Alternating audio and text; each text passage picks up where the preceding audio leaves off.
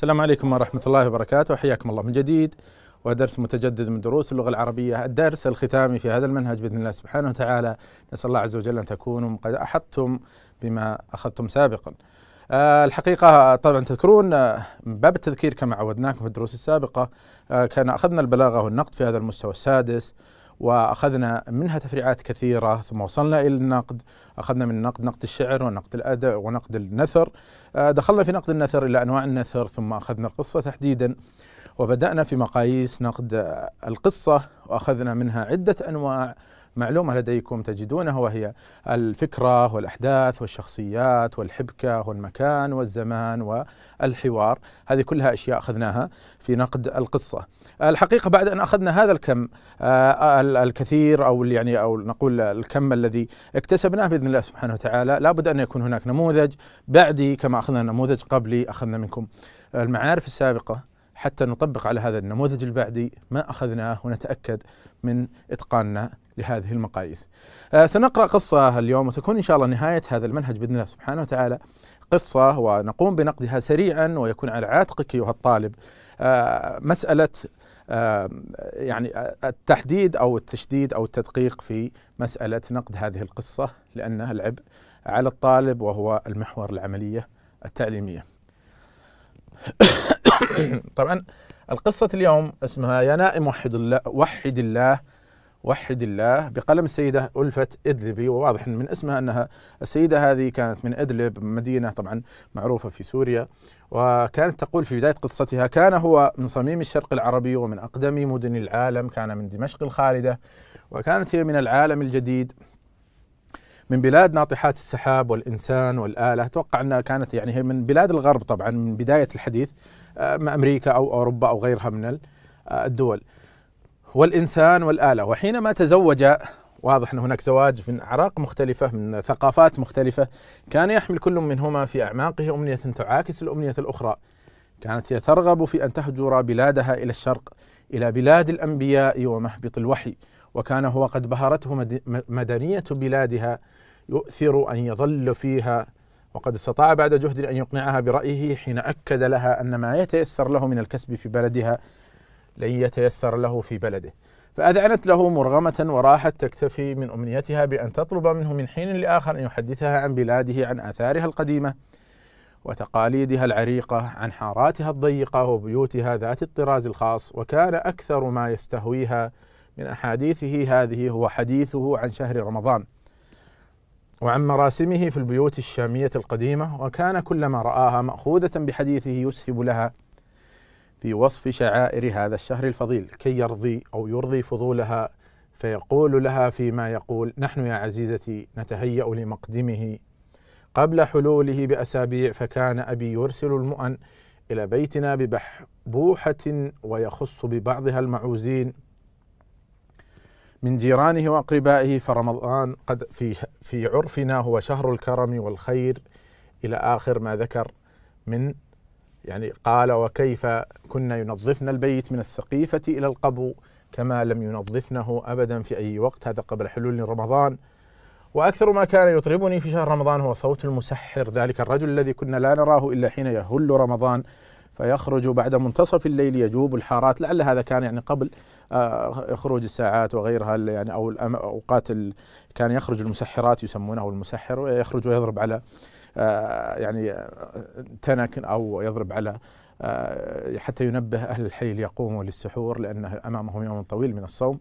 هذا كان عرف معروف في كثير من حتى مع وجود الأشياء المتطورة يعني كان هو مثل العرف الذي استمر.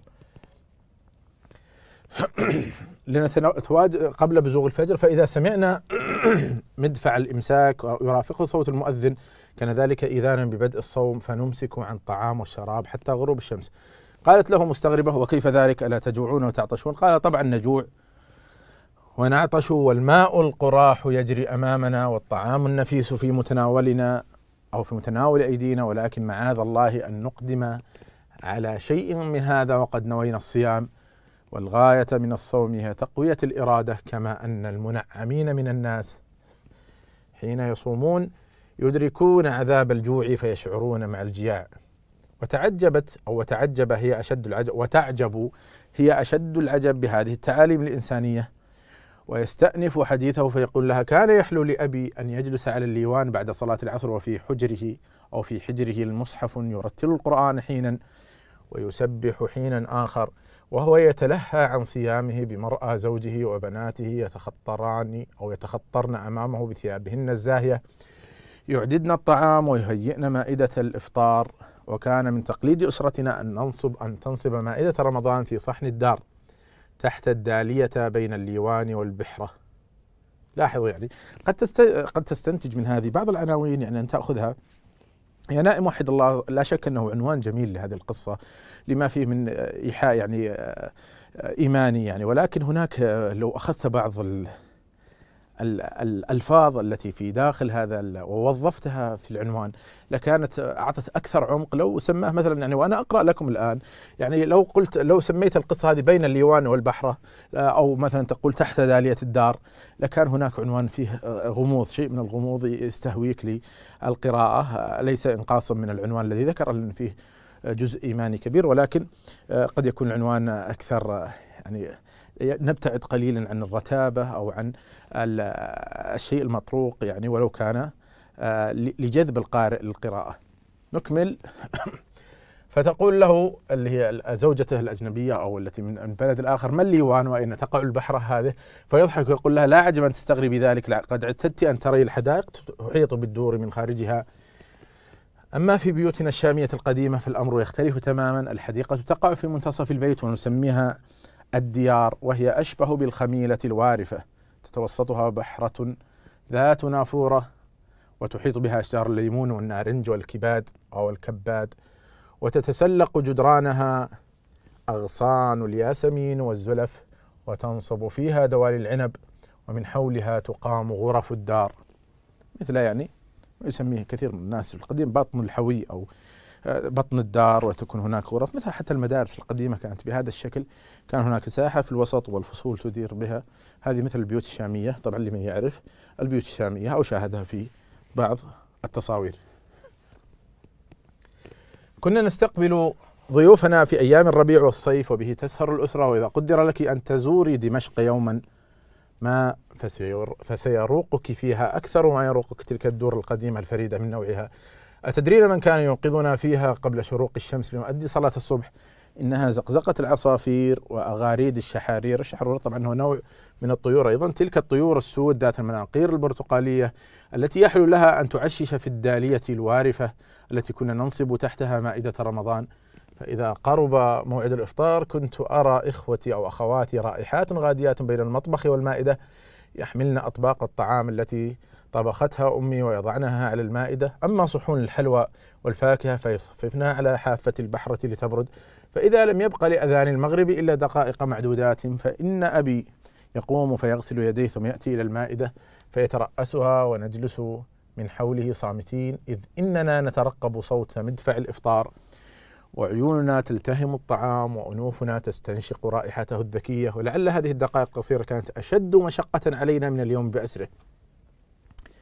ما يقال مقابل الجيش ولا مقابل العيش. هذه من الأمثال الدارجة لدينا. يعني كان ينظر إلى هذا الطعام فلا يصبر حتى لأن الشيء إذا كان امامك يعني يكون أشد أشد يعني شديدا عليك. وعيوننا تلتهم الطعام وأنوفنا تستنشق رائحة الذكية. هذه الدقائق القصيرة كانت أشد مشقة علينا من اليوم. بأسره وفجاه يدوي مدفع الإفطار يرافقه صوت المؤذن فيبدأ أبي بتلاوة دعاء قصير نصغي إليه بخشوع فإذا انتهى منه يسمي الله ثم يبدأ بالأكل فتتبعه. طبعا آه، ذكر لهم طريقة الأكل وغير ذلك. فتقول له لن أدعك هذه المرة قبل آخذ منك موعدا قاطعا بأن نزور بلادك ولن يطمئن قلبي حتى تكتب رسالة لأهلك تحدد لهم فيها موعد زيارتنا. فقال لها عليك أن تنتظري سنة قادمة أو سنة كاملة. قالت لا بأس. سأنتظر فيما إذا كنت ستفي بوعدك حين وصلت رسالته. هنا المنعطف الأخير في هذه القصة يعني ذكر هذه المسألة أنه أرسل رسالة إلى أهله فكانت يعني شبه مفاجأة. وهذه هنا مدار القصة تقريبا. إلى أهله فرحوا بقرب عودة ابنهم المهاجر مع زوجته الأمريكية وقرروا أن يهدموا البيت القديم. هنا المفاجأة التي حصلت. يهدم البيت القديم ويبنوا مكانه بيتا على الطراز الحديث كي يعجب أو يعجب كنتهم والكنة طبعا هي زوجة الابن الأجنبية هذه ويكون مفاجأة سارة لابنهم ما هي إلا أيام قلائل.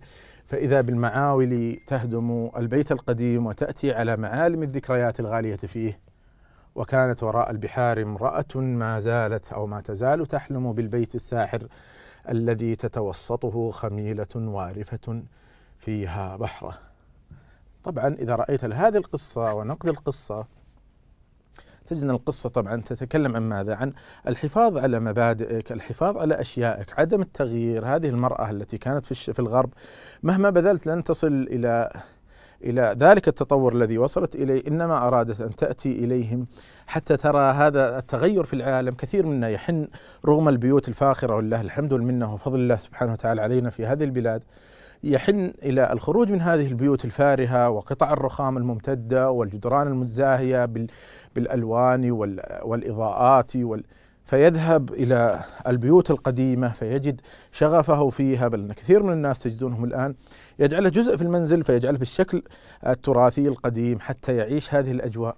أنت هنا لا تتخلى عن ما لديك لا تتخلى عن ما أعطاك الله سبحانه وتعالى فكل هذه تعتبر إرث وتراث وقيمة لك فلا تهدمها. عند قراءتنا لهذه القصة نجد أنها قد استوفت العناصر الفنية القصة القصيرة حيث مثلت بها الوحدات الفنية. وحدة الزمان تمثلت في الوقت الذي يروي فيه البطل ذكرياته العذبة عن بلده وأيامه. وقلنا لكم أنه في طريقة الحو... أن هناك آه، الأمر أما يكون واقعي وأما يكون الأمر هذا يعني في الخيال. آه، هذه هذه طبعا هنا وحدة الزمان تمثلت في الوقت الذي يروي فيه البطل ذكرياته العذبة عن بلده وأيامه هناك وبالأخص أيام رمضان. ووحدة المكان تمثلت في ذلك البيت الذي جعله بحسن تصويره له خياليا مدهشا يموج بالحياة والحب والعواطف. هذا المكان واضح المكان هناك والمكان هنا. المكان هناك والمكان هنا في في البلد التي ذهب إليها اللي أعتقد إنها كانت أمريكا لأنها زوجته أمريكية. ويتكلم أيضا عن وحدة المكان في المكان الذي هو آه، يعيش فيه الآن أو يعيش فيه والديه انتقل بهم إلى ذلك المكان. هناك وحدة أيضا للمكان. أما وحدة الحدث فأننا نجد أننا أمام حدث واحد يهيمن على جميع أحداث القصة ويتمثل في الموقف الحواري بين العربي وزوجته الغربية. أما وحدة الانطباع فلأن القارئ يعيش مع هذه القصة شعورا واحدا اللي هو الانتقال من الغرب إلى الشرق أو من الشرق إلى الغرب ومسائل الهجرة وعنصر الشخصيات في القصة تبرز فيه. شخصيتان هما البطل وزوجته وهناك شخصيات ثانوية أيضا غير مذكورة اللي هي البنات التي كنا يذهبن إلى إعداد الطعام يعدن وأبيه ولكنه لم يذكرهم بالأسماء فهذه من الشخصيات أيضا الثانوية. وحبكة القصة تبدو متماسكة فهي لا تشكو من التطويل وكثرة الاستطرادات والخروج عن المسار الرئيسي للحدث القصصي كما أنها تخلو من الإيجاز المخل والانقطاع في السرد القصصي. بداية القصة كانت مشوقة حيث برز عنصر التشويق من خلال إبراز عنصر التضاد المثير كان هو من صميم الشرق العربي. بهرته مدنية بلادها. كانت هي من العالم الجديد. بلاد ناطحات سحاب كانت ترغب أن تهجر بلادها إلى الشرق في أرض الأنبياء ومهبط الوحي. وسط القصة أيضا ونهايتها كانت فيها مفاجأة في نهاية القصة. كثرما بدأت القصة قوية عادت قوية في النهاية حتى تبين لنا آه تلك الرموز في القصة. الرمز في القصة طبعا أحداث القصة تتفق مع مقولة المثل العربي إن ما تملكه اليد تزهد فيه العين فهو يملك ذلك الشرق الرائع ولكنه تركه ورحل عنه وهي تملك هذا العالم الجديد ولكنها تشعر في العيش به كأنها في سجن وتحن إلى هجر بلادها والرحيل. وبذلك تلاشى الحلم الجميل عندما طرقوا أو هدموا ذلك البيت الذي حملها على المجيء إلى الشرق لتجد أن ما جاءت من أجله لم يعد موجودا. آه طبعا هناك أيضا كثير من التدريبات آه التي في نهاية هذه القصة تأمل بناء الفني للقصة ثم حدد بدايتها وسط نهايتها. ذكر ذلك تحدث عن عنصر المكان في هذه القصة. بوصفه بطلا في أي موقف في القصة تجد المعاني الآتية ما كل مجتهد مصيب. تذكرون في أي قسم من القصة كان ذلك. في نهاية القصة طبعا عندما اجتهد الأهل لهدم البيت حتى يجهزوا مكان آه، جميل تفرح به كنتهم كما سموها أو اللي هي زوجة ابنهم وهي جاءت أصلا من أجل ذلك البيت القديم. لتعيش تلك الحياة البسيطة التي تمنت أن تعيشها. آه الإنسان ما تملك اليد تزهد فيه العين هذا مثله. ما ذكرنا سابقا الإنسان المعاصر يحن إلى الطبيعة والبراءة. قد ذكرنا لكم هذه أيضا في نحن في البيوت وفي هذه الأماكن نذهب إلى الأماكن القديمة وإلى الأشجار وإلى البيوت الطين أحيانا حتى نعيد الذكريات رغم ما فيها من التعب والمشقة. وهذا واضح. آه إذا هناك أيضا بعض الأسئلة آه كلها إنشائية. وكلها طبعا. وبعد ذلك يأتي القصص التي أخذناها سابقا النصوص غير المحللة التي جعلناها ورشة عمل لنا. إذا نظرت إلى عناصر القصة هذه قبل أن نختم معكم هذا المنهج تجدونها هنا في آه، تشجير واضح ذكرناه لكم سابقا في هذه الصفحة التي تسبق وهي المحتوى هذا. طبعا تلاحظون الشخصيات الحوادث الفكرة الزمان المكان الحبكة كل هذه أحبتي المشاهدين والطلاب تجدونها وتستطيع أن تضعها مقياس لتحليل النقد. بهذا آه، نكون قد أخذنا نموذج سريع ونجعل لك آه، آه، أخي الطالب المجال الأوسع لتحليل هذه القصة كما تحب. آه، نرجو من الله سبحانه وتعالى أن تكونوا قد استفدتم معنا في هذا المنهج وأخذتم كفايتكم ويبقى كما قلنا لكم العبء أو المدار التعليمي على الطالب. ونسأل الله عز وجل أن نراكم كتابا للقصص التي تخدم هذا الدين وهذا البلد وتخدم أفكاركم الطيبة. نسأل الله عز وجل أن نجتمع معكم مرة أخرى. والسلام عليكم ورحمة الله وبركاته.